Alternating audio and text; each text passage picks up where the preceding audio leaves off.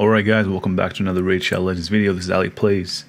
And today I want to talk about a champion um, that's pretty easy to get. Soulbond Bowyer. So I will be doing a guide on her right now. And yeah, so she is very, very good champion. Uh, she's one of the new waves of rare champions that are viable in a lot of areas in the game. Her, Coffin Smasher, um, I think Ragemonger as well. Yeah, there's a lot of good new rares in the game. So if you look at her ability, she has an AoE on her, her A1. So automatically, that's a good rare, right? AoE's on A1. She hits pretty hard, especially considering I didn't build her to do a lot of damage. Uh, her A2 attacks when enemy has an additional... Well, all her abilities have, have an additional 25% chance of inflicting a critical hit. So you only have to build her with 75% crit rate. I only have her at 68%, but uh, that's not an issue.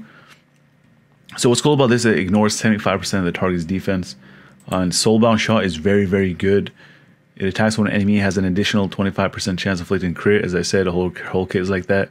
And then she also has a 75% chance of fully depleting the target's turn meter. So that screams spider, spider to me. And increase ally crit rate in all battles by 12%. So she can also increase her own crit rate if you use her in the lead spot, if you want to use her as a farmer. So she can she can do that. I haven't tested around farming, but I will in this video. Uh, let's look at how I built her. And there's a reason why I built her the way I did and I'll tell you guys why that is after. So I'm using one accuracy set and one lifesteal set. Lifesteal set is obviously good for her if she wants to be a campaign farmer, as well as be utilized in Spider. So the substats we're going to be looking for is crit rate. So get that up to 75%. Get her speed, attack percentage, and crit damage. She is an attack-based champion, and you're going to need some accuracy. Um, also, HP and defense percentage are not bad to have to make her a little bit more durable. So as you can see, I got 18% crit rate here and 11%. So that's the reason why I did not go with a crit set is because I have enough crit rate from the from these single pieces. You got speed here. And for the primary, I went the crit damage percentage primary.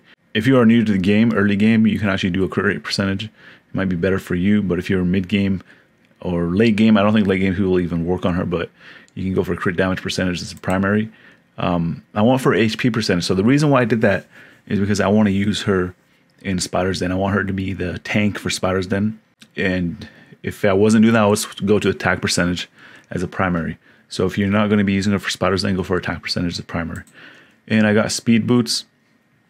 I did actually have defense boots earlier, but I switched them out just for this video. Because if you want her to be a campaign farmer, you want her to go more often. So that's the reason why I went with uh, speed boots. Accessories, we got HP primary, ring with some uh, pretty subpar substats, I would say. is not really a legendary ring. Uh, crit damage primary amulet, so this is very good. This is what you need. Uh, try to get some accuracy on the amulet if you can, but if not, don't sweat it. Resistance is what I want for the banner, is because I want her to resist the poisons from the spider. But if you're not planning on using her primarily in spider, or if you just want to use her as the uh, turn meter manipulator in spider, you can switch it to accuracy as a primary. and we got some speed over here, so that is good. Let's look at the substats. Total stats, 32,000 HP, 2,128 attack. I wish that was higher, but this is actually good for you guys to see. I'm not using super OP mods. I'm not using super OP artifacts, so that is good. 2,128 attack. I'm pretty sure a lot of you guys can get that. Usually people showcase around close to 4,000 attack. Uh, 187 speed, 181% crit damage, 68% crit chance, but her aura skill in campaign will actually make it so she always crits. Well, depending on affinity. 203 debuff resistance. I actually wanted to get that higher for Spider, but I wasn't able to get uh, resistance pieces that had the good crit rate on them. Debuff accuracy is 159. So yeah, if you want to use it for Spider's 20, you got to make that uh, accuracy higher over 200. So yeah, not bad. She has a good kit, and I also got her masteries done. So I went all the way down to get War Master because for dungeons, War Master is very good. And it's not bad for campaign farming as well. And we went for the defensive route to get Retribution because if you want her to be an affinity tank or just a tank in general for spiders, um, you got to get Retribution or else the strategy doesn't work. I'll show you guys a little bit of the strategy. I'm not able to do the do the spiders 20 yet. I'm still working on the team. I'm uh, still tinkering with it, but I will show you guys what I have so far. So we're going to review her now. So Spider's Den, I will give her a 5 because she has the AoEs. And you can also make her have a stun set if you want with high accuracy, so she can just stun the spiderlings. That will be her job, and um, to um, deplete turn meter of the Spider Queen. So she is good for that. Campaign, she's going to be a five. She is a campaign farmer. But the only thing I'm going to switch it to a four because the only issue is that she doesn't have all AOE. She just has AOE on her A1.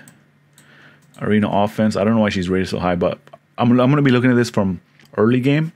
Arena offense, she is a 4. Ice Golems Peak, I'm going to give her a 4 as well for early game. Force Keep, I'll give her a 5. Arena Defense, I'll give her a 4. Minotaur's Labyrinth, she's going to be a 5. Clan Boss, she's not good in Clan Boss. She doesn't really bring anything to the table. I'm just going to give her a 3 for Clan Boss. Magic Keep, I'll give her a 5. Well, it keeps, let's just give her five. Dragon's Lair, she's gonna be five for early game. I'm not talking about Dragon's 20. I'm talking about early game. Uh, Faction War is the same thing, but not the higher stages. So we're just gonna make this into a four. Spirit Keep is a five. Fire Knight's Castle. she can be using the first two waves, but against the Fire Knight, she's not going to be doing much, so she's going to be a three. She can deplete his turn meter, though, so that's... I'll just keep it as a three. Recommended artifacts. So using offense and crit rate, that is pretty good actually. Um, you're to need some accuracy though, so you can keep that right there.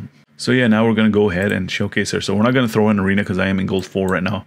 And also, we're not to showcase her in Clan Boss because she's not good there. Let's see if, she, if Faction Wars are up for her. No, they're not. So first thing we're to do is go into campaign. So we're on Brutal, stage 12, 3 is what we're to do. So we're going to take her out. And this is actually the first time I even I've ever taken her into campaign. So I have no idea what she's capable of. Why is she not using her A1?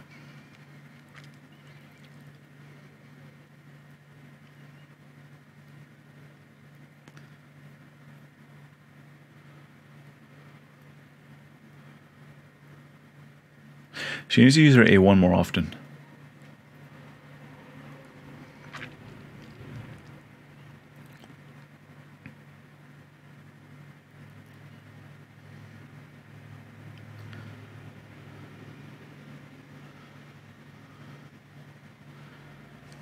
So there we go. So she is able to do it. She's not.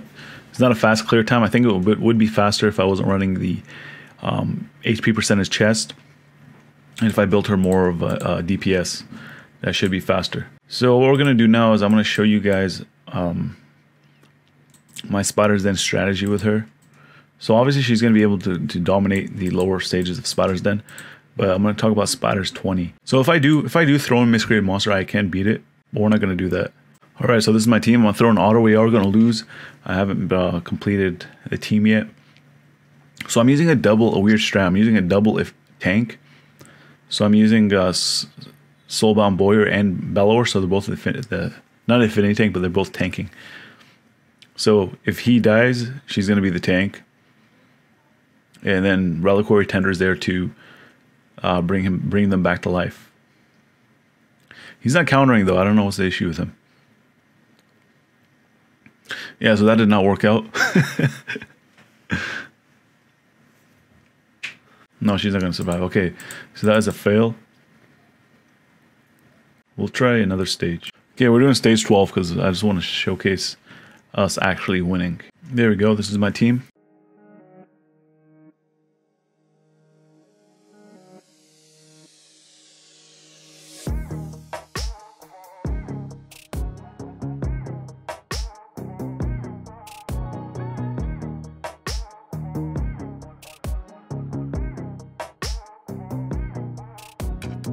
Yeah, you can see like for early game Spider Den, she's going to be very good, especially if you build her with more offense. If you use a attack percentage chest chest plate, she'll be very good.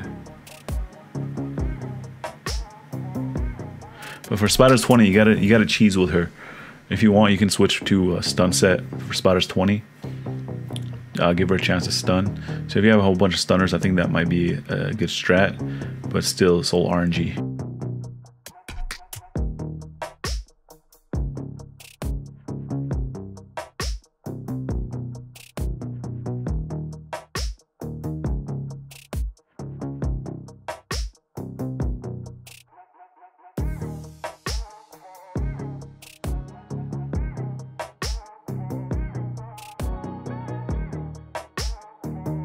So there we go. So she was able to do um, the most damage on the team, which is pretty crazy because this guy's doing Royal Guard's doing damage based on enemy max HP. So yeah, she is good for early game Spider's Den, as I said, and she's gonna be good in almost everything in the game. Um, Ice Golem's Peak, Dragon's Lair, she's gonna be good. Fire Knight not really good. Uh, Minotaur, she's gonna be good as well. And yeah, she's a, she's a pretty cool champion. I still think Zephyr Sniper and Shield Guard and Saurus champions like that are better farmers because she has multiple abilities, but she has more utility because she is able to ignore defense and also she she's easier to build because you don't have to build at 100% crit rate, and also she has a decreased turn meter ability. So overall, she's she's one of the better rares in the game, and as a bonus, she looks like Pikachu. so yeah, for me, she is one of the top tier rares in the game and uh, this guide was to see if you guys uh, wanted to build her. So for end game, I don't, I wouldn't, um, I wouldn't work on her, but for early to mid game, she is good. So if you guys found this video helpful or entertaining in any way, make sure you guys drop a like. If you guys are new to the channel and you like to see things, consider subscribing. And as always, I want to thank you guys for watching. See you guys in the next video. First, a message from Tyrone. I'm Tyrone. I need everybody to subscribe to the homie Ali Al Plays. And that's non-negotiable either.